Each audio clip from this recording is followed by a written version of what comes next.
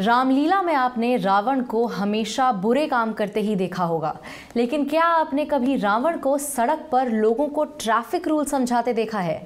जी हाँ गुरुग्राम में विजयदशमी के दिन रावण ने लोगों को सड़क पर ट्रैफ़िक के नियमों का पालन करने की नसीहत दी। देखिए रिपोर्ट। ऐसा नज़ारा आपने शायद इससे पहले ना तो देखा होगा और ना ही सुना होगा। कि स्वयं लंकाधिपति रावण सड़क पर उतरकर लोगों को ट्रैफ़िक रूल्स बता रहा है। रावण का साथ देने के लिए मौजूद हैं राम के छोटे भाई लक्ष्मण। दोनों ने लोगों को ट्रैफ़िक के नियमों का पाठ पढ़ाया। गुड़गांव ट्रैफ़िक पुलिस ने लोगों को जागरूक करने के लिए ये मुहिम चलाई है। रावण और लक्ष्मण दोनों ने ट्रैफ़िक नियमों का उल्लंघन करने का परिणाम भी लोगों को बताया।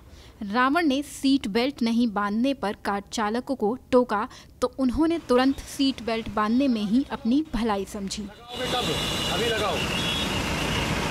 रावण के साथ ही लक्ष्मण भी सड़क पर जेब्रा क्रॉसिंग पर लक्ष्मण रेखा खींचते दिखाई दिए।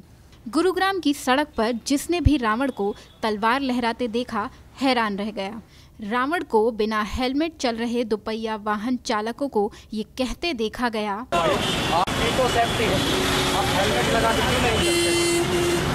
Arushi Pundir, go news.